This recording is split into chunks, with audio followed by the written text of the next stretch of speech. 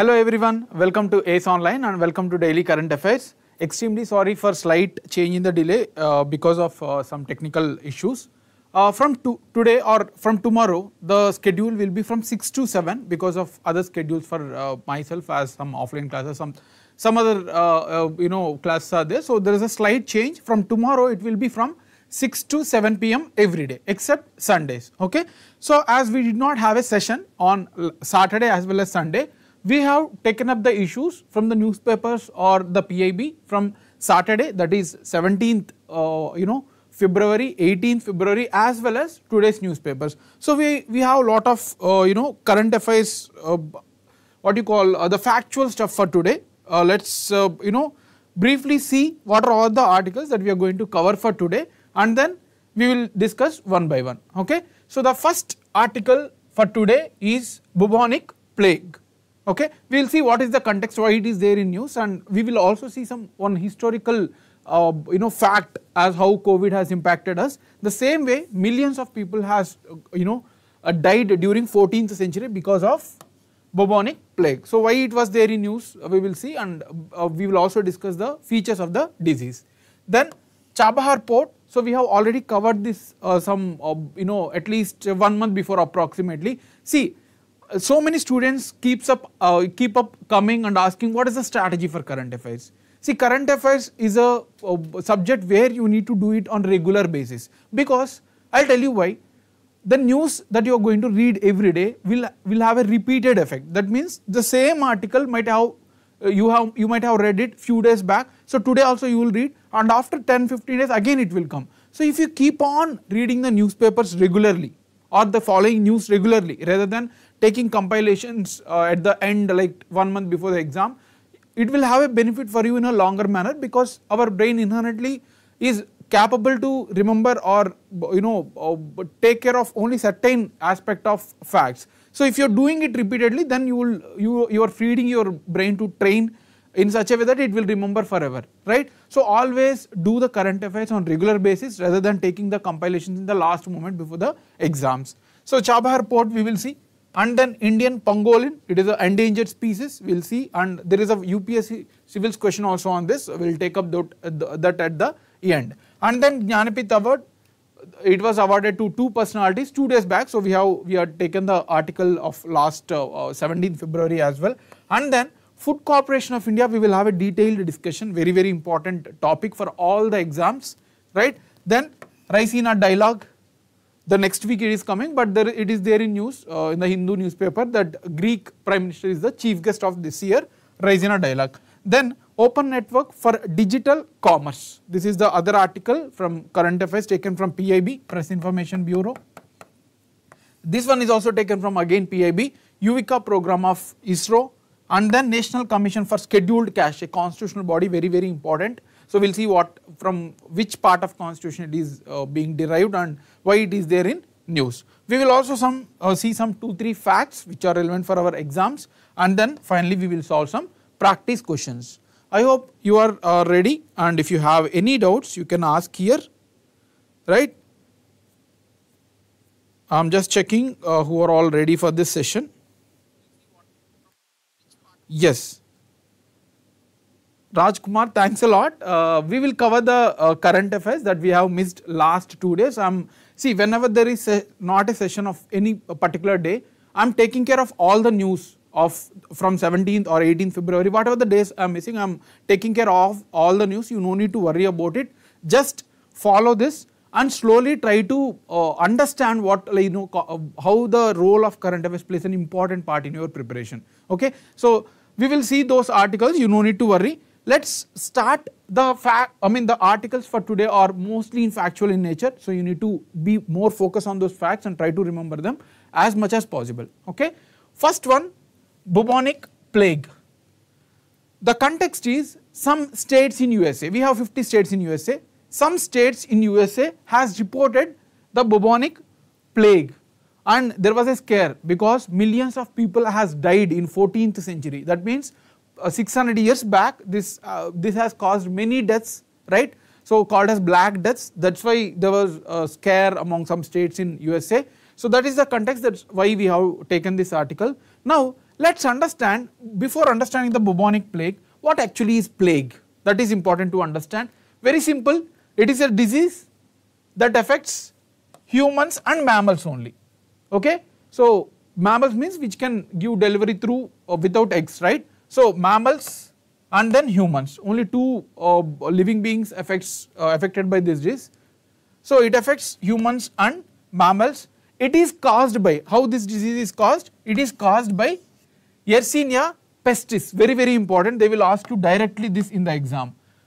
Yersinia pestis is a, a, a, bacteria that causes which of the following, something like that they may ask, it was already asked in many of the exams. So this is the bacteria, Yersinia pestis is the causative factor for bubonic plague. Now how it is uh, transmitted, what are the uh, symptoms, we will see these things, what type of plague it is, I mean there are 2-3 categories of plague, we will also see this. So just understand that it is caused by zoonotic bacteria. Zoonotic means, zoonotic meaning the cause from the animals. So some animals carry this bacteria from various reasons, maybe from forests, maybe some dirty uh, places. So they carry and come in contact with the humans and it spreads to the humans as well, right. So this is the causative factor. Now this bacteria spreads between animals and peoples. So see in only certain conditions it transmits from one person to other person. We will see why, uh, I mean in which context it is transmitted. But in general, the most cases are transmitted from animals to people only. Okay, I will tell you in which case it spreads from person to person, like COVID. Uh, this, uh, this, I mean, this bacteria is also having capacity to spread disease from one person to other person as well. We will see the context. Now, there are three types of plague disease. We have just seen the introduction of plague, how it is caused, which bacteria is causing it and how it can spread right from animals to humans in general. Now there are three types of plague disease. Let us understand those three types. First type is bubonic plague. This is a disease where bacteria enters into lymph nodes lymph nodes. See if you understand, let me take this example. In our human body, let us understand lymph nodes. What are lymph nodes? Then we will understand uh, bubonic plague. So in our human body, there are white blood cells which can fight against the uh, you know antibody or antigens we can say. So any other external uh, elements comes into our body, white blood cells are ready to fight.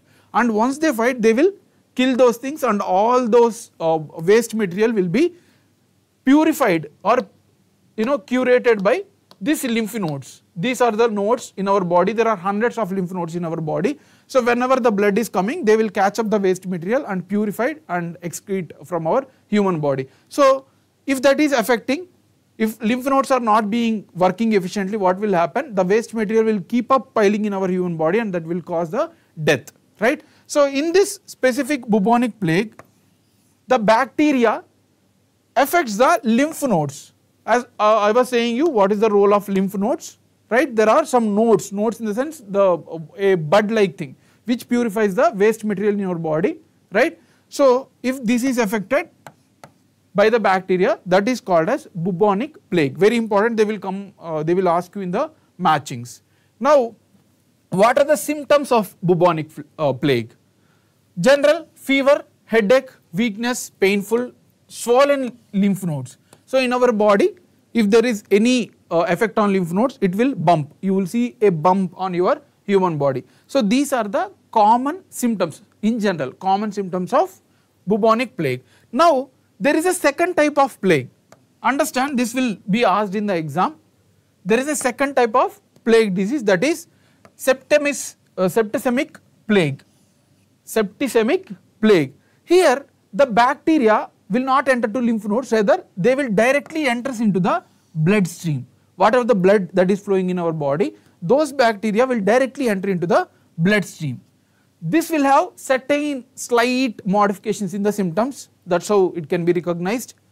Here this will cause additional symptoms like uh, you know abdominal pain like stomach pain or bleeding into the skin. So you will see the bleeding as well because bacteria enter into the uh, blood and it will pump up. So you will see bleeding from different parts of the body and then blackening of appendices. So there is a blackening of uh, you know skin or appendices as well. So those are the symptoms of septicemic plague. This is the second type where the bacteria directly enters into the blood. In bubonic plague, the bacteria enters into the lymph nodes and they affect it, right? So that is the second type of plague. And then there is one more plague. This one is the serious one. I was telling you that in one case, the this disease can spread from person to person. In general, if you take bubonic plague or septicemic plague, it uh, you know occurs from animals to humans only. But here pneumonia means uh, let us understand what is pneumonia. You will see you might have seen many times in the newspapers. Pneumonia means it is an infection in the lungs where you cannot take the breathe properly and you will lack breathe or uh, taking oxygen and you will die. So the that is the pneumonia. So it is a disease that affects the lung capacity to purify the air. So that leads to the death. So here the bacteria enters into the lungs, enters into the lungs and when you are inhaling or exhaling, so that will be spread in the air and the other persons will also uh, feel that or experience that and then it leads to the spread of disease from humans to humans. This is very very important. Pneumonic plague, right? So this is this can be transmitted from person to person they may ask in the exam. It adds rapid development of pneumonia to the list of uh, symptoms. So that is the major thing that whenever you uh, whenever a person feels that it is a uh, uh, you know difficulty in breathing so that is the symptom of pneumonia right. So this is the third type of plague. It is the only form of plague that can be spread from person to person this is what I was telling. So this is the only type of plague where it can spread from one person to the other person. So other plagues will not spread the disease from one person to other person rather it spreads from animal to uh, humans right. So these are the context of what we have seen the context and then what is plague actually. And then there are three types of plagues. What are the symptoms for it? And uh, there is a specific feature of pneumonic plague.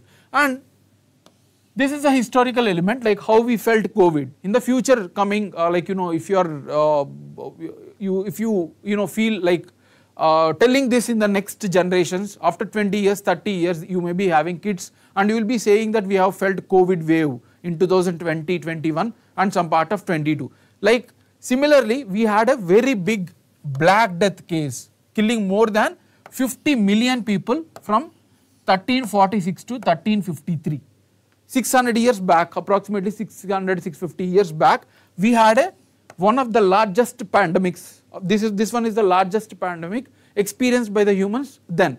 After that we had a cholera uh, i mean cholera outbreak in 19 uh, 2021 during world war 1 and then we had a covid wave. So these two are the biggest and this is the third one uh, third biggest. So it has affected 50 million people right? So this also you can remember. They may ask the black death historically is related to which of the following diseases as well.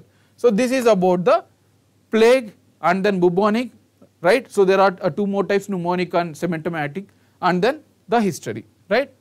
Any doubts in this?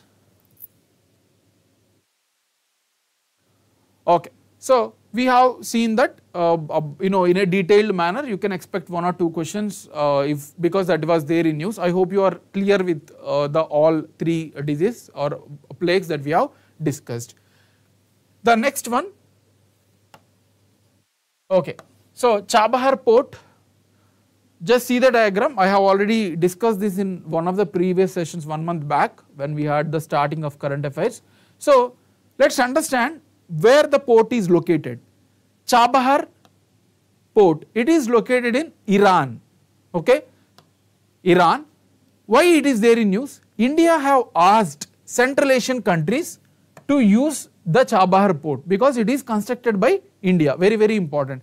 Chabahar port is located in Iran, constructed by India. Why it has constructed, what is the developments that we will see. Just understand that it is located in the Gulf of Oman region, okay, not Persian Gulf, right. You need to remember this, it is located in Gulf of Oman because here there is a Oman country and there is a Gulf.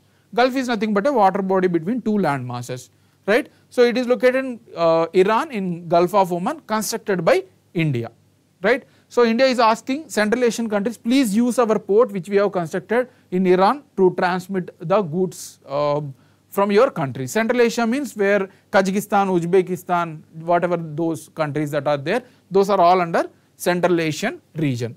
Now, Chabahar port, as I told, is a seaport in the Baluchistan, Sistan, Baluchistan province.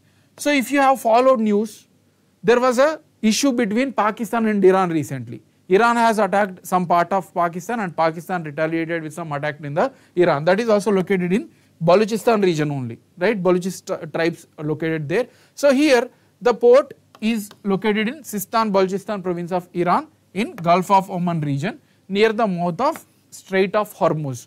There is also one more uh, here, yeah. So there is a Strait of Hormuz, here it is located. So no need to worry, just remember that it is located in the Gulf of Oman. Now, what is the significance, why India has built this this involves lot of crores, isn't it? Why we are freely conducting? There is a reason why India has constructed a Chabahar port here, right? So if you if you see the geographical location here, India is here, right? And initially we had a border 1947 we had a border with Afghanistan. So we used to send goods to Afghanistan directly and from Afghanistan to other parts.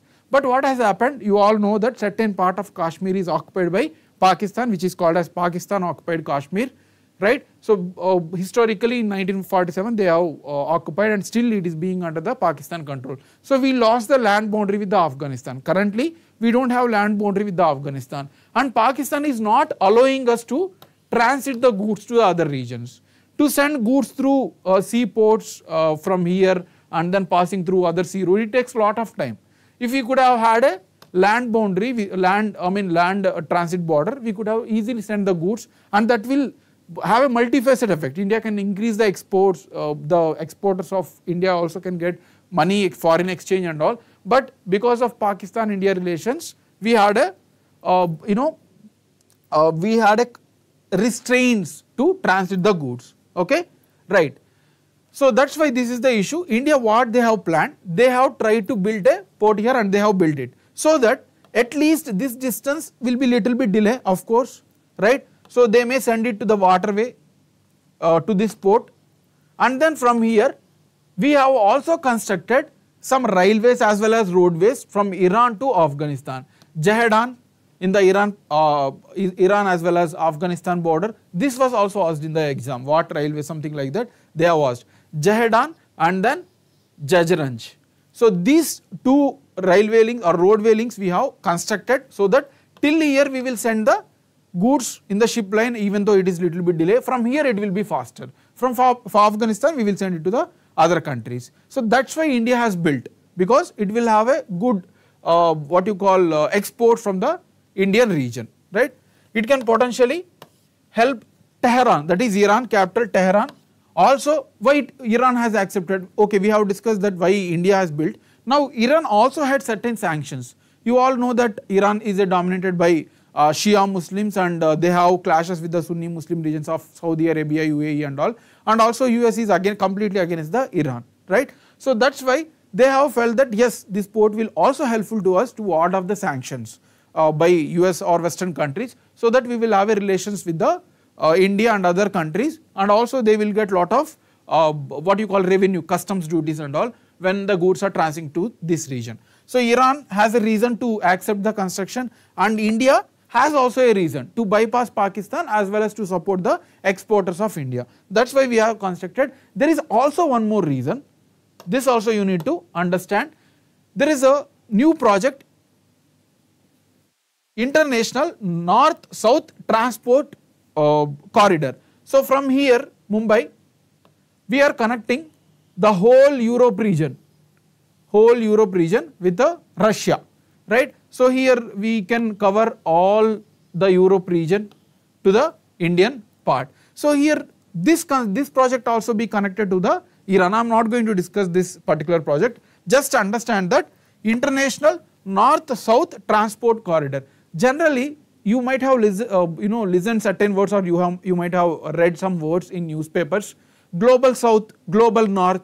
it means global south is a countries which are between the tropics, tropic of Cancer and tropic of Capricorn and still are developing or underdeveloped countries. Unlike global north that is European countries which are highly developed. So here international north-south corridor means it connects the India and the other developing Southeast Asian regions with the developed countries so that the trade between the or two regions will increase and obviously it will develop the employment and then economy of the countries. So there was already a project if we are having uh, this particular uh, port at Iran so it will benefit for India and other countries as well to develop this project as well okay.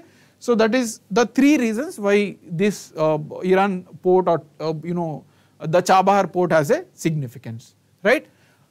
So the two distinct ports there are two distinct ports in the Chabahar one is Shahid Beheshti and then Shahid Kalantari. We are building, India is building only Shahid Beheshti port. You need to remember which port is constructed by India. So they may give this option also, don't confuse. It is built uh, uh only one port that is Shahid Beheshti port. India and Afghanistan as well as Iran, first they started this project in 2016. The timeline is also important. Whenever there are some projects, they will ask you when this project has started, right? So this was started in 2016, very important fact to be remembered. And then immediately within one year, we were able to construct the port. I mean not fully developed, but yes, we have uh, constructed and it was inaugurated in 2017. And India has sent first consignment of wheat as well to the Afghanistan through Chabahar. So from here, India has sent wheat and then it reached to the Afghanistan, right. So that was the first that we have sent this in 2017. Similarly, India Ports Global Limited took part over certain part of port to be managed. Under Shahid Beheshti port, the Indian Ports Global Limited, a private organization, has taken care of the operations, how much need to be taken, how much to be transit. So this was done in 2018. So this fact is not that important, okay. So when it was started and first consignment is also important for us right. So any other uh, doubts in this Chabahar port?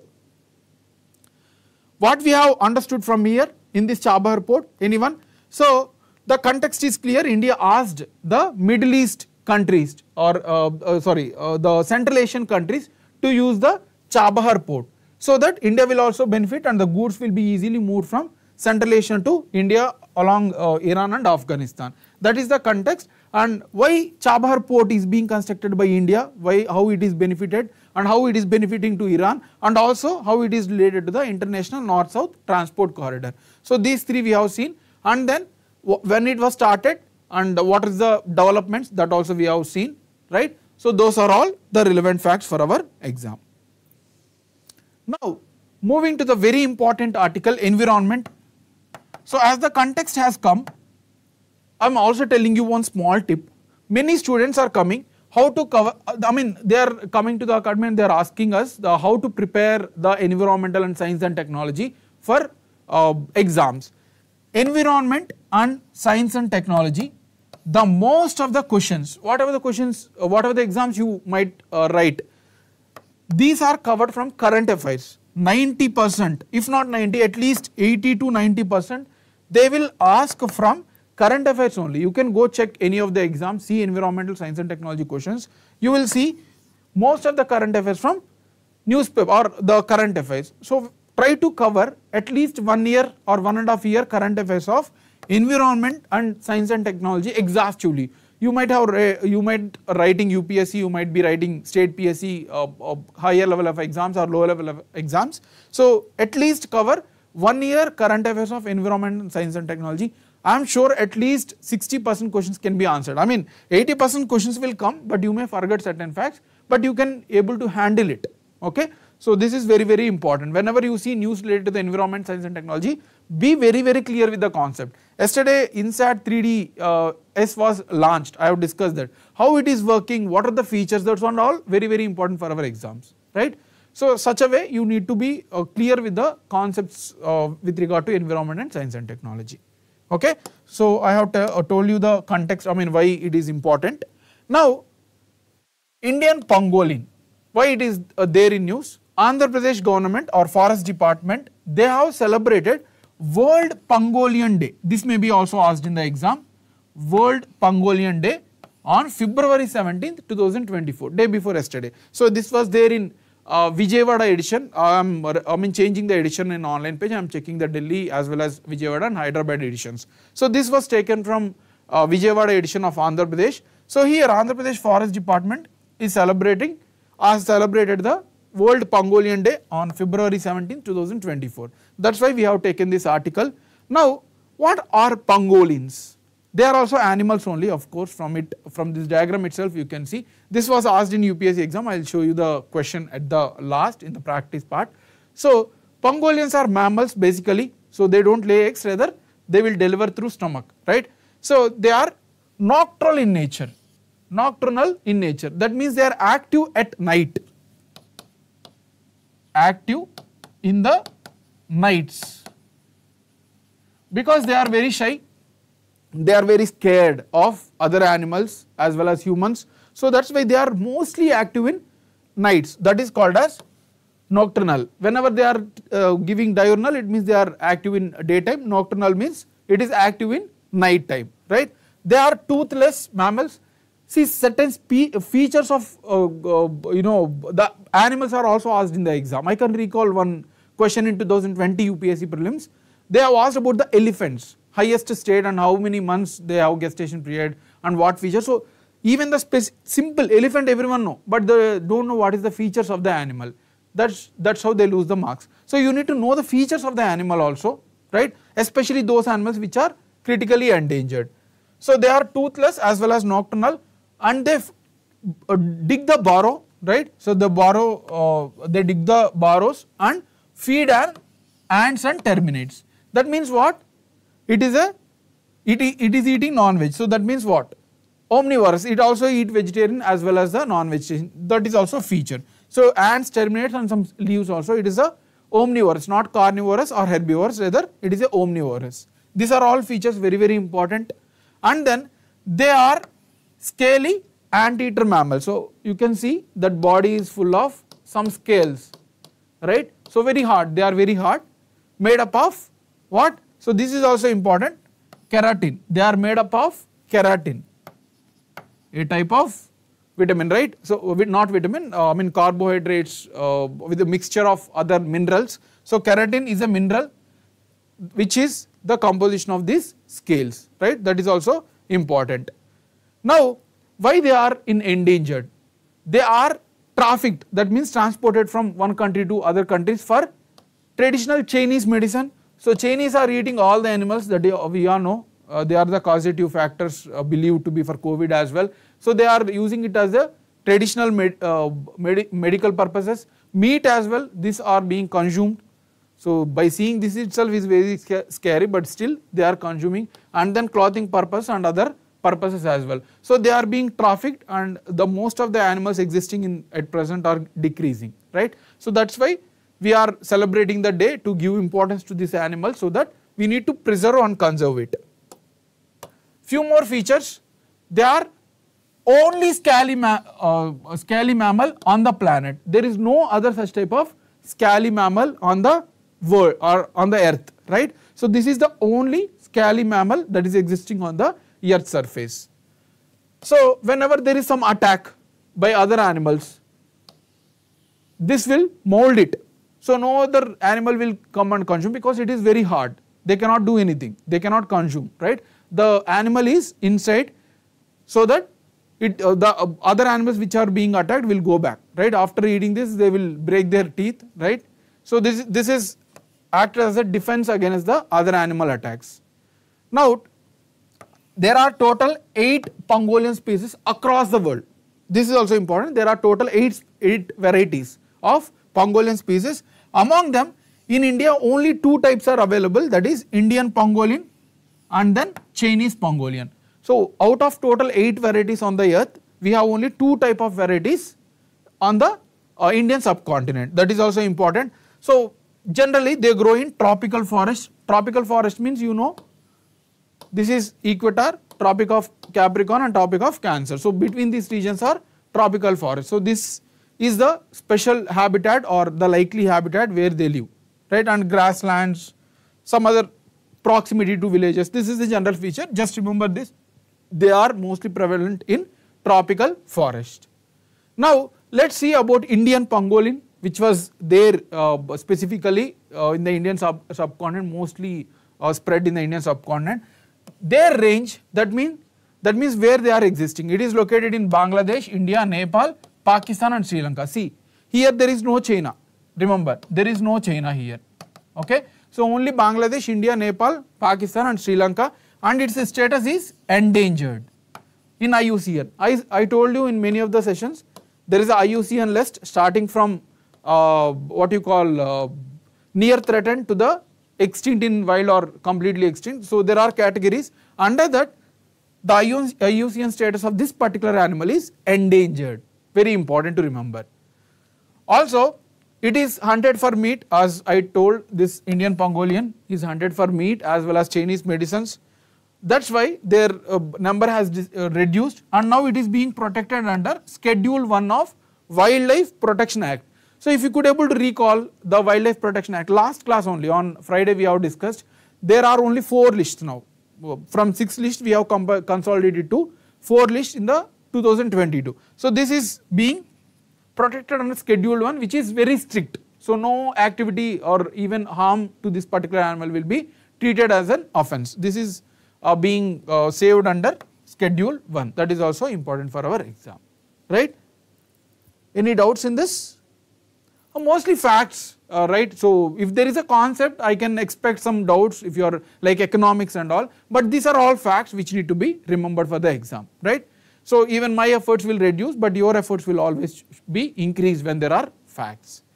Now there is Jnanpith award for two persons that is Gulzar and the Jagat Guru Ramabhadrachari. So two names you need to remember of course Gulzar and Ramabhadrachari. They will ask in the exam and this is the 58th Jnanpith award. 58th Jnanpith award. So they have awarded to these two persons that is why we have taken the news. Now what we are going to do? We first we will see what is Jnanpith award then we will come to the Gulzar and Ramabhadrachari what they have contributed okay. So this is the context these facts need to be remembered. Now about Jnanpith award this is con considered as the highest literary honor. So if you see Bharat Ratna it is the highest civilian order similarly this is a literary one. So whoever is uh, you know uh, involved in the literature and have contributed significant part to the literature, they are encouraged by giving the Jnana Pith award. Jnana means knowledge, right? Pith means seed. So if whenever you are a person with the sufficient knowledge, so you will be awarded with this award. It was instituted in 1961, very important.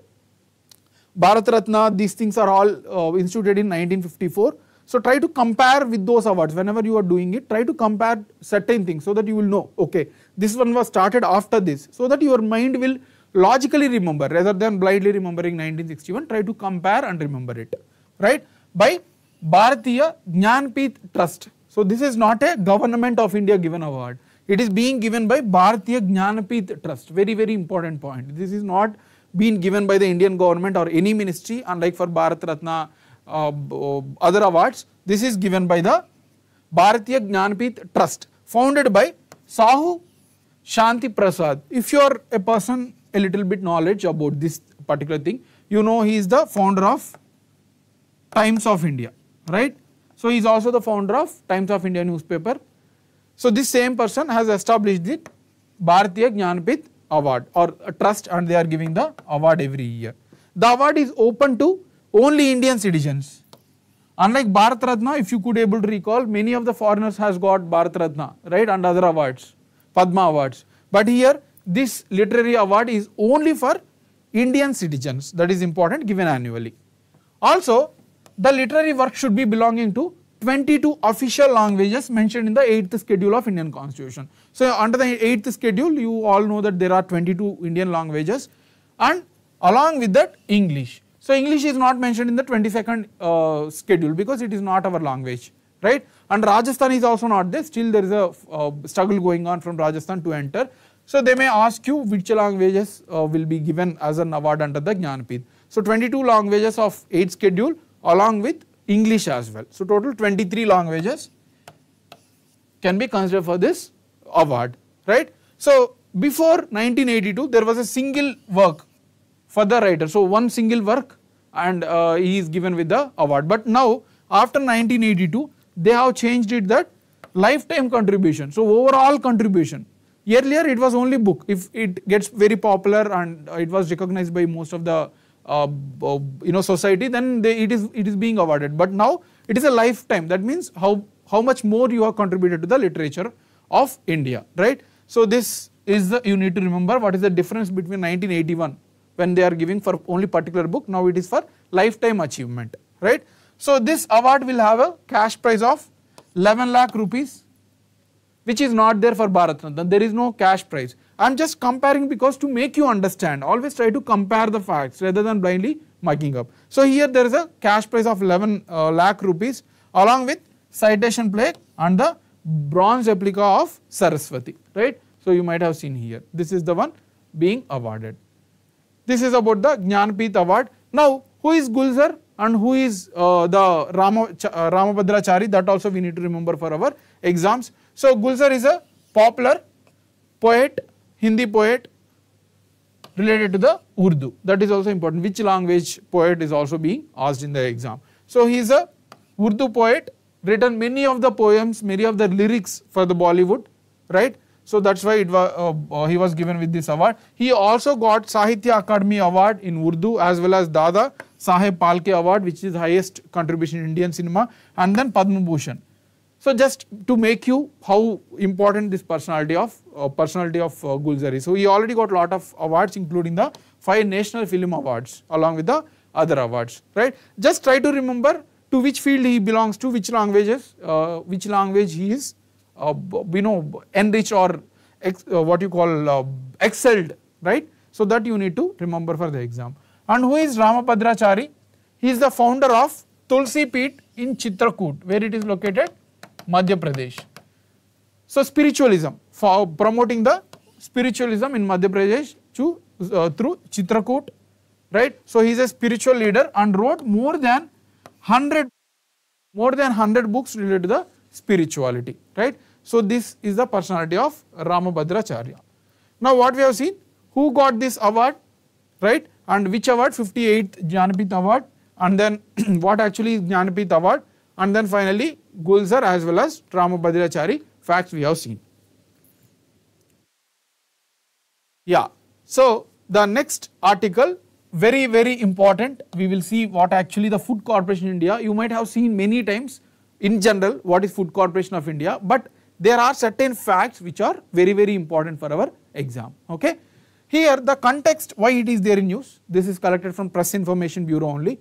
They have increased the authorized capital from 10 crore 10000 crore sorry 10000 crore to 21000 crore. Okay they have increased authorized capital. Now you will ask the question sir what actually is authorized capital? Yes we will uh, uh, i mean discuss this also. Authorized capital is nothing but the amount given to any particular body beyond which it cannot uh, expenditure right so this food corporation of india cannot uh, take expenses more than 21000 crore for example you take any private company tcs there is a 1000 crore authorized capital so they can share in the stock market the shares you, that you are buying or HDFC you can take anything. So it was 1000 crore. They cannot give in terms of shares more than 1000 crore. That is the maximum limit of the company's capacity, right. So they have increased this to 10,000 crores to the 21,000 crore. This is very very important development, okay. So try to remember the amount as well. This is the context why we have taken this article. Now before going into the detailed discussion of uh, other things, let us see what the Food Corporation of India is, what is the role, why they have established and all. We will come from very historical basis when it has come into the picture. You all know uh, like uh, there was a agrarian crisis in the India especially after uh, Indo-China war in 1962. We were facing a lot of food security issues, a lack of uh, agriculture uh, goods or agriculture products including the wheat, rice. We were lacking because we have focused on industries. Immediately after first five year plan we focused on industrial development. Immediately we also got issue from india china war as well as india pakistan war india uh, in 1965 so in such background indian government has felt that agriculture is the most important thing now there should be a body which need to regulate the food in the Indian subcontinent or Indian political system, right. We also came up with green revolution, you might be already aware about it. So there was a increased production after 1965-66, right. So that is also one such consequences that because we are not performing well in the agriculture. So this body was set up in the Food Corporation Act of 1964. So whenever there is an act that means what? It is a statutory body. So they may ask in the exam what is constitutional body, what is statutory body, what is executive body. So there might be confusion in your uh, side. Statutory means whatever the parliament has brought the law and established this particular body. Those are called as statutory. Executive body means it is just established by the government like cabinet. There is no involvement of the parliament, just government has established it. Those are called as executive bodies and constitutional bodies means you all know that it is mentioned in the Indian constitution. So this is a statutory body established in 1964 against the backdrop of shortage of food grains especially the wheat as I have told you this before. What is the primary duty? Why they have established any particular body and what is they will give some duty for any organization there will be particular duty of uh, to manage it. So here the primary duty is to undertake purchase from the farmers. So if there are no other private persons who is buying from the farmers right. So they cannot waste their food grains, right. Farmers do not have storage capacities, warehouses and all. So this body will come to help the farmers, they will purchase and then store, move, transport from one place to other place wherever there is a shortage and then distribute, sell food grains and other food stuffs, right. So taking care or buying from the farmers and then store, transport to the where the areas which are not having proper food grains and sell there right. So that is the main duty of Food Corporation of India, Food Corporation India. And there are certain objectives. Apart from the duty, there are also the objectives. I mean, what is the aim of Food Corporation of India? First, they need to give remunerative uh, prices to the farmers. Why? How? So there is a farmer A and there are some private companies, they want only buy for 10 rupees per kg of tomatoes. But the actual cultivation cost itself is 12 rupees then why uh, I mean they will be in uh, you know difficult situation to sell this for 10 rupees and then food corporation of India will tell that we will give 15 rupees give it to us. So farmers are ready to it. So they are providing the remunerative prices to the farmers whenever there is a, a lack of purchase from the market. That is one objective and then to ensure availability and accessibility of food grains. Food is the most important thing, right? Who don't like to have food? everyone has the food and it actually a very uh, basic good. So here whenever there is a shortage it is Food Corporation of India will come into the picture they will give for free of cost. You can take example of COVID times itself when there is a, a complete closure of economy Food Corporation of India role has completely seen on those days right. So government has given for 1 rupee 2 rupees for poor people and also ensuring food security in the nation. Food security means having uh, food for sufficient day, sufficient time in a particular given time span, right. So this food security was also one of the objectives of Food Corporation of India. Then maintaining satisfactory level of operational and buffer stocks. This is also very very important. There are two type of stocks in the Food Corporation of India, I mean food stocks. One is operational and other is buffer stock. One is buffer stock. Operational stock is which is uh, promised by the government. So in the end Food Corporation of India is a government body. So government has promised to the people that they will be provided with certain amount of food every month, right? Rations, you, you might be aware about it. So these are the stocks, operational stocks, which are mandated or guaranteed by the government that we will give it to the public. So this has to be maintained at any cost because people will fire up against the government and these are the buffer stocks extra than this. So beyond this operational they need to have certain uh, stocks whenever there is an emergency to maintain. So this is a called as a buffer stock which is beyond the operational stocks within the Food Corporation of India. That is also important to remember. Then the dis- distribution, the Food Corporation of India also gives to PDS, Public Distribution System. PDS you might be aware that where the food grains is distributed free of cost for the people. So this has also been managed by uh, FCI and then effective price support operation for the farmers. As I told, when they are procuring, they will take with sufficient amount that, so that farmers will not get loss. That is also managed here by the FCI. Now functions, these are all very generic, but why I have added there are many questions, there were many questions from the exams, which of the following are the objectives, which of the following are the functions of FCA. You can go back to any of the exams that you are preparing and you will see lot of questions on FCA, right. So whenever you are come across with certain statement which I am not discussing, of course there will be question, no, uh, no faculty or no person can claim that whatever we taught will be come in the exam only 60 percent 70 percent will be coming in the exam. Rest of 30 40 percent you have to apply your mind that you are uh, you know studied from the books or from lessons and then you have to answer it right? So here the to procure food grains from the farmers that is one of the functions maintaining operational and buffer stock same thing that i have discussed. Allocation of grains to state state governments i'll tell you how uh, it is done. Selling grains to state at central issue price Central issue price, again they may ask in the exam, central issue price. This is the price promised by the government to give for the uh, you know poor people. For example, wheat is given for 2 kgs under National Food Security Act, rice is given 3, uh, 3 rupees sorry 3 rupees per kg, 3 rupees per kg. So they are guaranteed. So this amount is called as central issue price. So it will uh, sell the grains to the state governments at this price only. They cannot sell it to 10 rupees, 15 rupees. So states will again come into the central government and they will ask why you are taking more money from us. So that's why whatever the center is procuring the grains or said that they are going to uh, give those grains for only 1 rupee, 2 rupees. At that price itself, this FCI will give it to the states. Okay. Then distributing and transporting grains to the states right. So these are all the functions of FCI. So if you see the working mechanism, you will understand much in a much better way, okay. So here just understand this, there is there was already a question many times.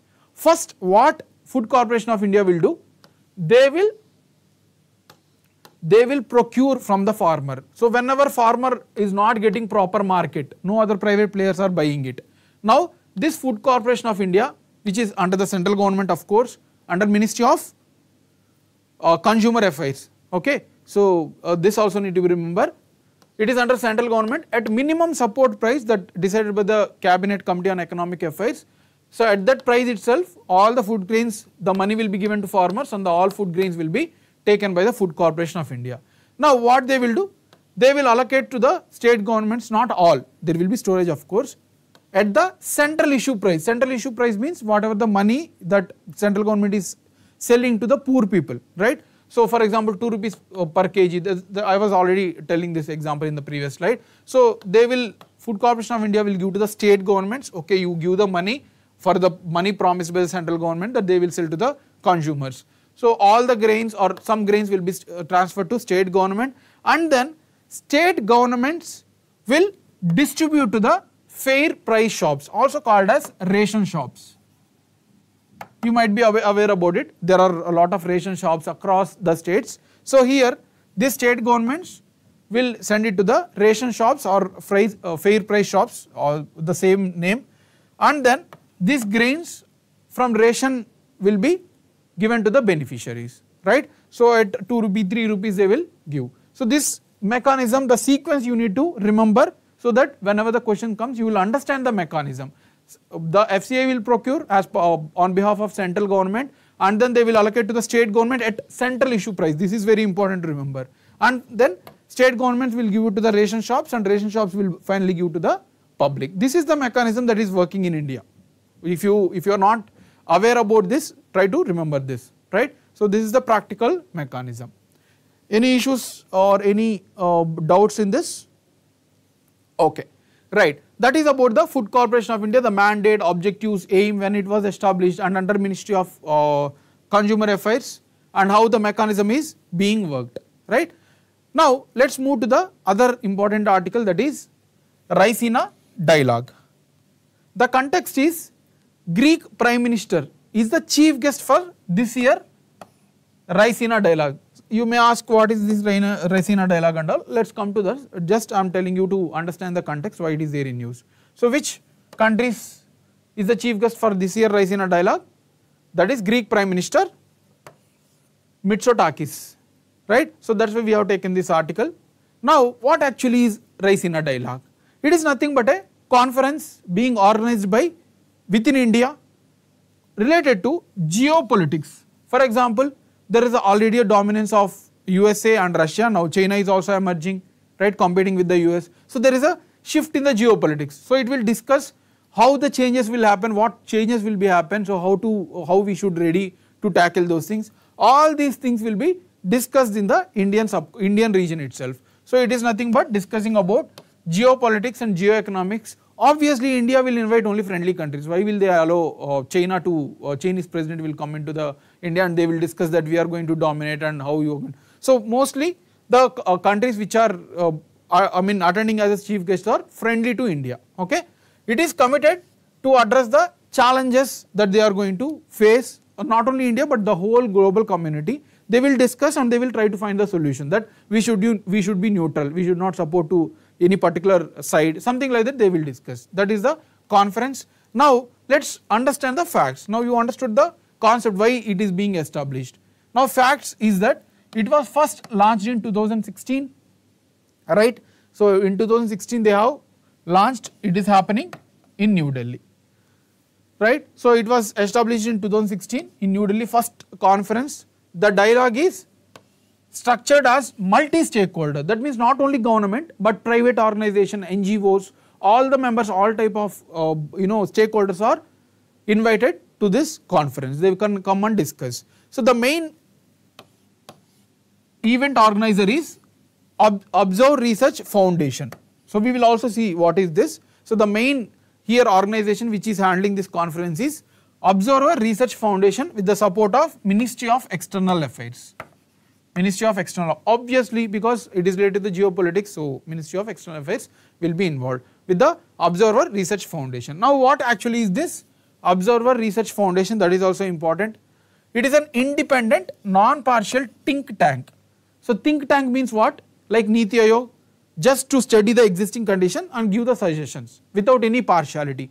Just that we have observed these things, we all uh, you know important things, we are giving suggestions. It is up to you how you going to handle, right? So it is a think tank, independent body established in 1990. It is not a government body. Remember, it is not a government body. It is a private think tank conducts policy research on good governance, foreign relations, sustainable economic development. So all related to the international is- taken care. They study and give information to the countries, right? So that is about the observe. Uh, it provides non-partisan, independent, well-researched data. As I told, there won't be any partiality because it is in India. So they are going to only give important suggestions to India. No, not like that. They are going to give uh, impartial solutions to all the friendly countries, right?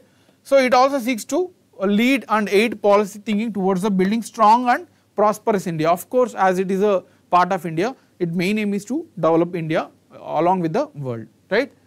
So that is about the uh, uh, Raisina dialogue. So what you need to remember that it is happening uh, uh, since 2016 what is the objective of this? What are the facts who are organizing it right? So the theme of 2006 or 2024 conference is yet to be released. The, the conference is going to happen in the next uh, week. So again we will discuss those theme when it, it is mentioned in the news. We will comment the with those facts as well. As of now you understood these things. That is sufficient. Next open network for digital commerce. Very very important. It is there in news for many months. Okay? Since many months it is there in news as uh, uh, we, we can able to see this uh, from pib i have collected this article. Okay? So the department of fisheries ministry of fisheries has signed memorandum of understanding with this open network for digital commerce. What type of memorandum and all we will see. Before that let's understand what actually is open network for digital commerce. Let's observe here the diagram. Please focus here, understand now, then only you will be able to remember the facts. So if you see the current e-commerce platform, you have to go to Amazon, you have to go to Flipkart uncheck different costs. So everything you need to compare, you need to use different different apps and then you need to add addresses, payments, so, lot of complexity is there. Okay. Now this open network for digital commerce will be kept all the apps of e-commerce at a single place. So the, the sellers can come here, the buyers can also come here, right? So all the, whatever the goods want to sell by the sellers, they can keep in different different apps, the selling apps. So it is nothing but there will be selling apps, there will be buying apps. All will be kept at single place. So if you check the product, if you open for example you want to buy any chappal or shoe, it will show the prices at the different uh, platforms, right? And also they will see, they will show you the delivery dates. So whichever is the best, you can choose from it, right? So it is integrating all the e-commerce app at a single platform so that you can compare the prices, delivery dates, everything, quality, everything you can compare and you can the you can choose the best option. So what is happening here?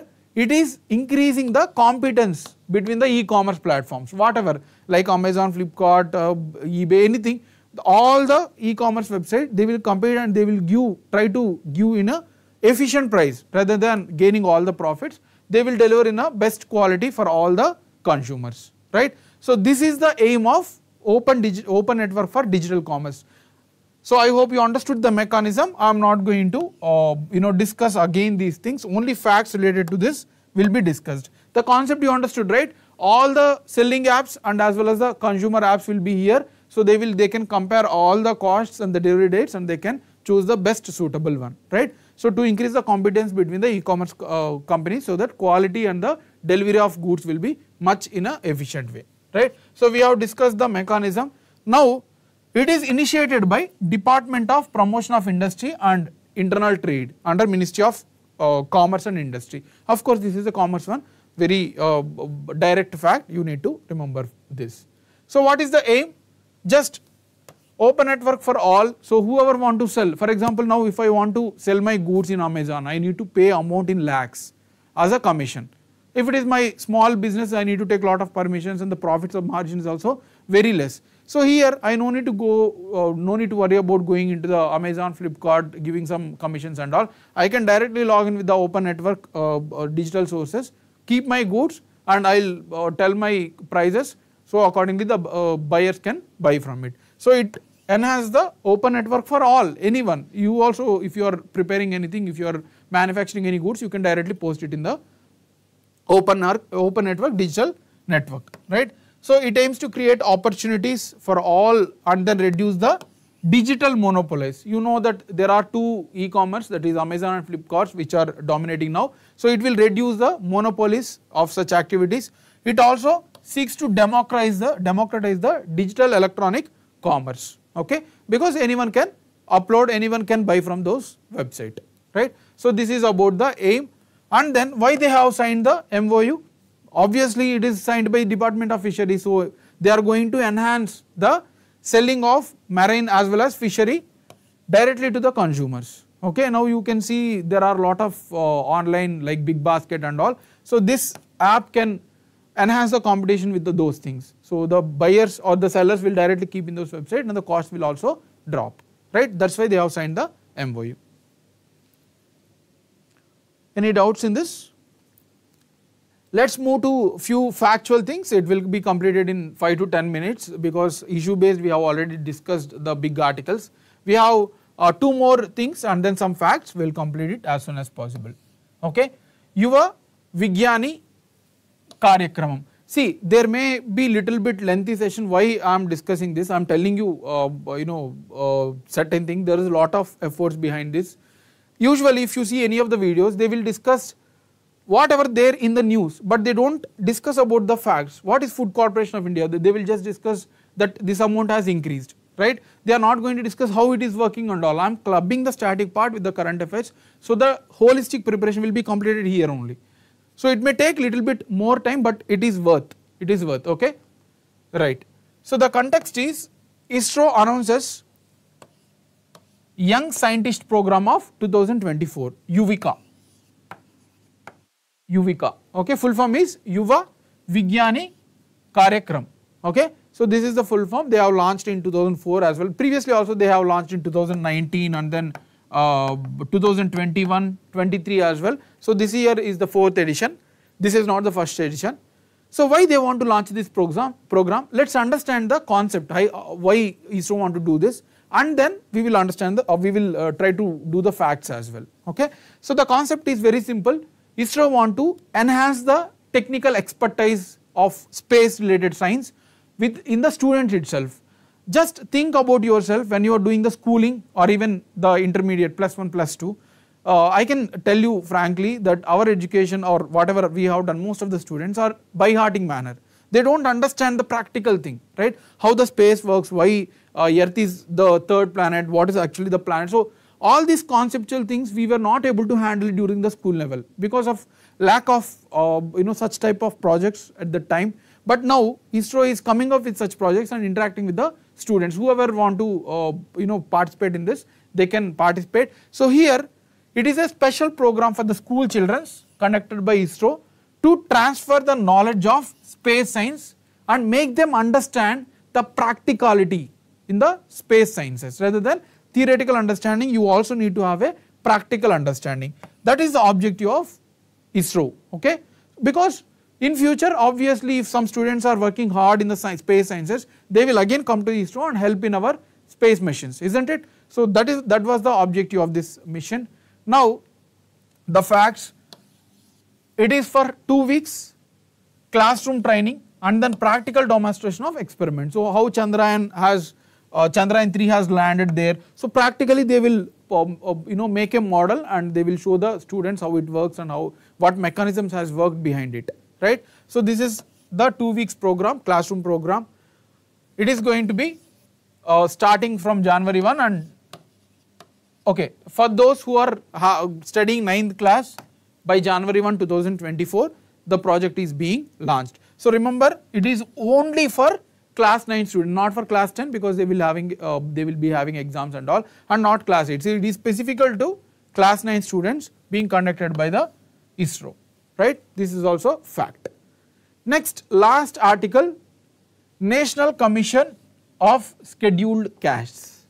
Any doubts in this? Okay. Any doubts in Eureka program? We have it is just a fact uh, the we, we have understood why ISRO has launched this and what is the context. The facts related to it organized by ISRO and only for school children and then to enhance this practicality classroom training and who is eligible we have discussed right. So the context is National Commission for Scheduled Castes has submitted the report of 2022-23 to President of India.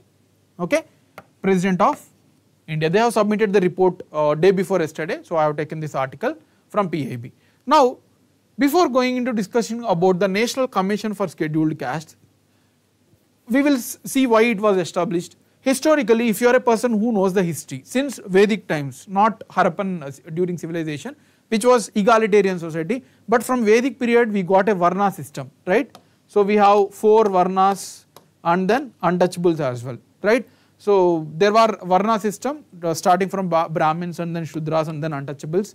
So the last two sections especially the untouchables has suffered a lot historically, right. Even during Britishers, even after arrival of Europeans, the people kept suffering because of various uh, uh, stigmas and all, right. So even today, that's, that's why the affirmative action, the reservation has come into the picture because historically they were backwards. To promote them to the forward uh, level in the development, of course government need to give the handholdness. That's why one of such body is constitutionally they have established National Commission for Scheduled Caste. So any issues faced by any persons within India who belongs to scheduled caste can directly go into this uh, national commission and then submit their uh, complaint. Or even this commission itself can take suo moto that means they themselves can take the uh, you know complaint if they observe from any media right. So whatever the welfare related to the scheduled caste will be taken care by this particular body and their development how the reservation has worked what is the still challenges everything will be made into report and every year it has to give report to the president and president in turn will keep in front of the parliament. So all the opposition all the governments will know and it will be discussed in the parliament so that public also will be knowing the conditions of this National uh, Commission for Scheduled Caste and the nature of the scheduled caste, right. So, it is a constitutional body mentioned in article 338, very important. It is mentioned in article 338. The commission is charged to investigate and monitor all issues concerning to the scheduled castes. So, that is the aim of the article. They will safeguard the scheduled caste people from prejudice, exploitation. So, I was telling you one in one of the sessions even Bihar former Bihar chief minister once visited the temple and when he went back so there was a ritual uh, to cleanse the temple and all. So, I am not going to mention the name uh, but yes so I was telling you even if the person who is occupying the highest constitutional post in the state is facing such issues. So, there are many such issues especially in rural areas. So, such type of things need to be eliminated be to take care by the Nation, uh, National Commission on Scheduled Caste right. So, it is the central and state governments are mandatory to consult this commission whenever they are taking some policy related to the scheduled castes, right. So, it is very mandatory for uh, center as well as state governments to consult this particular body when they are taking any major policies. Structure, it has a chairman, it is totally a 5 member body, chairman, vice chairman and other 3 persons, okay. So, appointed by the president itself, the members, they are appointed by the president, yeah, that is what I was telling and then the chairman is having cabinet minister. Cabinet minister like uh, there is a small cabinet within council of ministers right like home minister or finance minister. So chairman is having a power same or equal to the cabinet minister and the other members is having minister of state rank right this also be asked in the exam right. Functions very generic in nature all issues concerning to the scheduled caste people will be handled by this inquiring into complaints taking part in the advices of uh, st state and central governments. So all these things are generic okay? And then regular reporting to the president every year they need to uh, give. And the report should consist of the socio-economic development and other welfare protection schemes affecting on the scheduled castes right? So that is about the uh, national commission on scheduled castes. Now there are some factual pointers, we will then solve the questions. Sagar Ankalan. So this is a guidelines developed by Union Ministry of Ports and Shipping. So these are the guidelines where they need to evaluate the benchmarking of all the ports in India, how they are performing, where they are located, is there any challenges of handling the ports or how we can develop those things. There is a particular gu guidelines for the ships ports in India. So this they may directly ask this fact what is Sagar Ankalan uh, recently news they are guidelines to handle the ports and harbors in India launched by Ministry of Ports. Then recently Indian women badminton team won the medal at badminton Asia team championship in Shah Alam Malaysia. So where did badminton Asia team championship has happened? It is happened in Shah Alam in Malaysia and Indian woman has won the gold medal and this is the first medal for Indian woman. Okay, this was India's first ever title that uh, with the continental competition. Uh, earlier, men has won two bronze medal in 2016 and 20, but for women this is the first medal and they directly won the gold medal. Men has only won bronze medal in 2016 and 20. Okay, so they have beat Thailand so they may also ask what is the runner up and something like that. They have beat the Thailand in the final, right. Last fact, Cochin International Airport in Kerala along with the support of BPCL has established the hydrogen production facility within the provinces. Why we are learning this fact?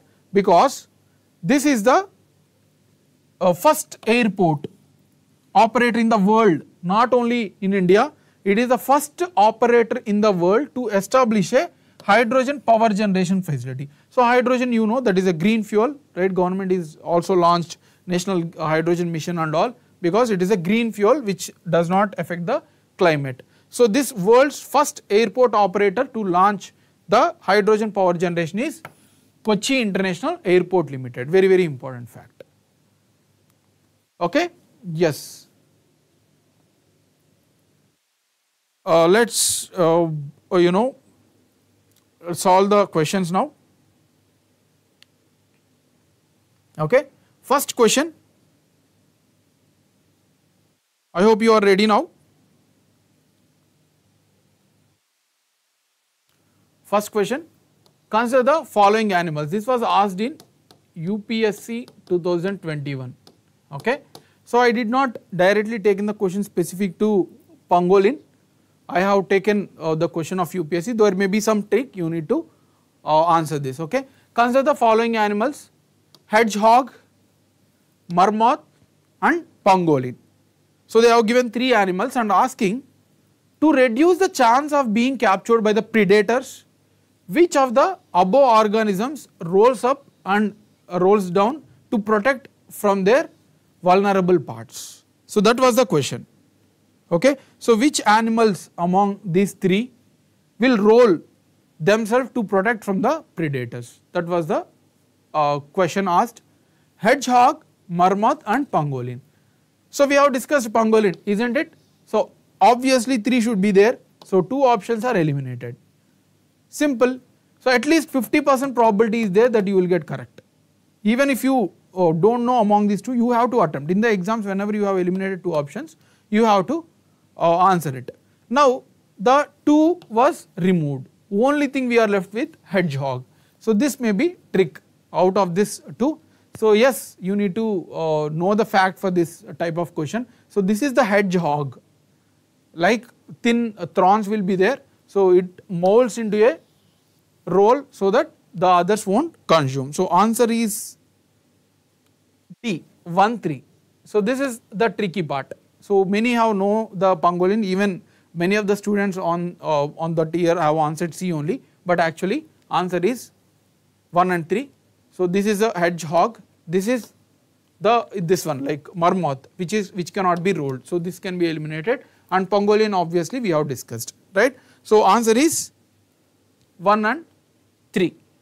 Next question this we have discussed bubonic plague is caused by bubonic plague is caused by virus, bacteria, protozoa, fungus. Anyone?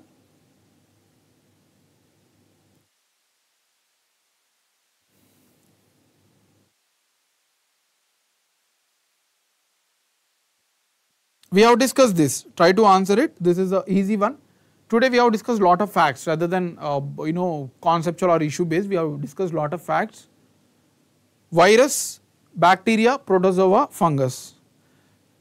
Rajkumar has answered it as B.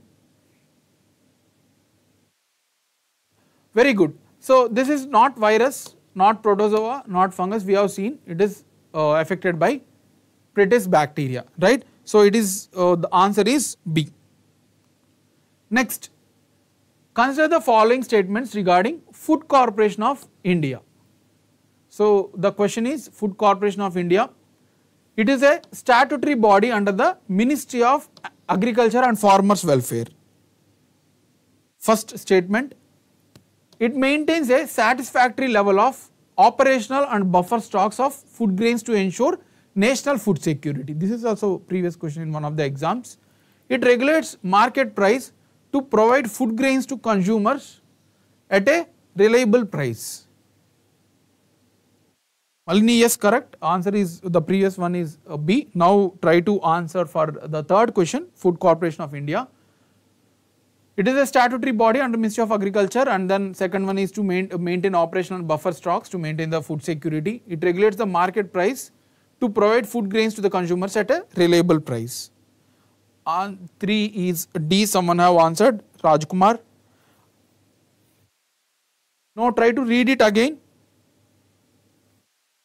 This is a tricky one. Here they have given statutory body correct, half statement is correct, but this is not Ministry of Agriculture. I told you Ministry of Consumer Affairs. Consumer Affairs. Okay. So second statement is uh, first statement is wrong. So you have to eliminate two options and then second statement yes they need to maintain operational and buffer stocks. So 2 is correct. 3 is yes it regulates market prices by procuring from the farmer so that it won't go for too, too much uh, cost okay. So answer is C 2 and 3 okay. Next question with reference to Raisina dialogue consider the following statements. So, this is the uh, question. It is a annual geopolitical conference organized by organized by every year only in the New Delhi. So the statement is it is an annual geopolitical conference organized every year only in New Delhi. That is the first statement. It is a jointly organized by Ministry of External Affairs and Observer Research Foundation. That is the second statement. Third statement is the first edition of Raisina Dialogue was held in 2012. Any answers from this? Fourth one, someone have answered it as A. Very good. So 2012 it is not, it is established in 2016. So 3 is eliminated and you got the answer. Okay. So answer is A. Fourth one is A. Last question. Which of the following statements about Jnanpith award is correct? Okay. So about Jnanpith award, which one is correct? The first English writer to be honored with the prestigious award is Amitav Ghosh. We did not discuss this point uh, intentionally so that we can discuss here. Then the recipients of Jnanpith award are given a cash prize of 11 lakh rupees, citation plaque and a bronze replica of goddess Saraswati. That is the second statement. The award was instituted in 1961, third statement. Urdu poet Gulzar and Sanskrit scholar Jagat Guru Ramabhadrachari has been chosen for the 58th Jnanpith award. So, um, uh, this is a little bit a lengthy question. Yes, uh, there will be such questions to consume your time in the exam. So, here there are four statements. St second statement we all know they are given with the 11 lakh rupees and citation we have discussed this. The award was instituted in 1961. Yes, correct and then Urdu poet this year they have awarded the 58. So 2, 3, 4 should be there at least right. So first one will be the doubt. This is a fact and a very important one. Yes, Amitav Ghosh was the first to award the English writer right. So beyond 22 awards he is the first to receive this. So answer is D. Okay. So this all are very important articles uh, for today and I hope you enjoyed the session. Uh, we'll uh, have a session from tomorrow for, from 6 pm to 7 pm or 7.15 pm every day. So keep subscribing, keep following us. Thanks a lot.